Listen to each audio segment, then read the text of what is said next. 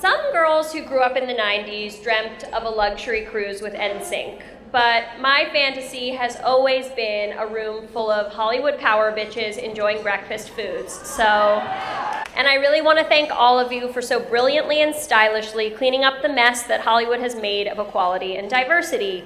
Because after all, isn't that historically what women have been asked to do, is clean up messes that don't belong to them and that they're not responsible for? I feel deep inside my bones, my bones being Twitter, that something is changing. It just has to. And also our privilege to transfer that power onto marginalized people with stories to tell. It's an odd irony that the entertainment industry, which sets the cultural beat and shows so many people the only images of themselves that they will ever see, has done such a sorry job of reflecting the diversity of the country in which we live and the world that we impact. Our resources and, yes, our power to turn this around as a team.